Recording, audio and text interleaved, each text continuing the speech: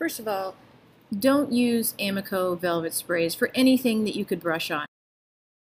Okay, I like to use them with stencils um, on my slabs. These are wet slabs of clay. It's porcelain.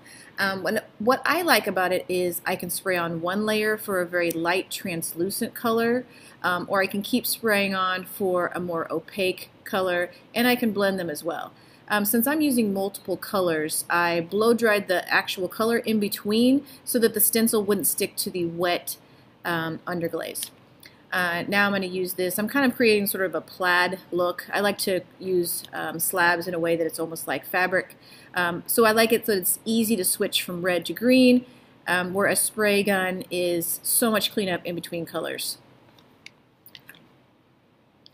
The red and the green are about the same opacity. Um, that's maybe about two or three layers of the red and green. I just keep going over it for two or three layers. Um, and then with the blue, I wanted a little bit lighter uh, tint of blue, a little bit more translucent. Um, so this is just going to be one layer of blue. And I also sprayed it a little bit farther back, which gets it a little bit lighter as well. Um, so you can definitely control the opacity and color with the length that you spray away from the clay and the, um, the number of layers. Um, this is my spray booth that I have, and so um, here I'm doing sort of a faded ombre look where I go from like a really intense um, opaque red at the bottom, kind of gradually blending it up to uh, lighter red and then just to the white underglaze at the top. So I do like using it for the blended look. Um, you just have to watch for overspray Again, my spray booth is on, and that's why I'm not wearing a mask. Um, the other one, where I wasn't doing it in the spray booth, I was wearing a mask. Um, it's important that you're not breathing in this. Uh, the main thing I had was getting the stencils tight enough around a curved object to spray it without a lot of overspray. Um, you definitely don't want to spray it for too long because you will get the drip. Um, to so to avoid drip, just kind of do a spray and then let go.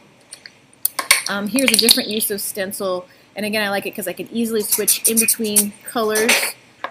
And you can see that I just do one spray at a time. And if I decide, okay, I want a little bit more color than that, then I just do another spray, um, keeping the stems on the same spot. And then you can really decide how much color you want or how see-through you want it just by spraying, taking a look back, do another spray, um, and you can get different tints and shades of the same color.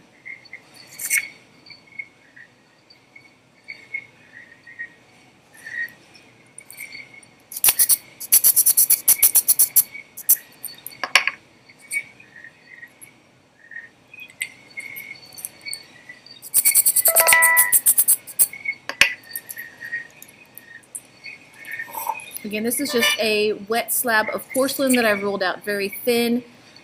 And um, I, after I do these with the stencils and the velvet sprays, I put uh, rice paper decals over them, which does help to protect it as well.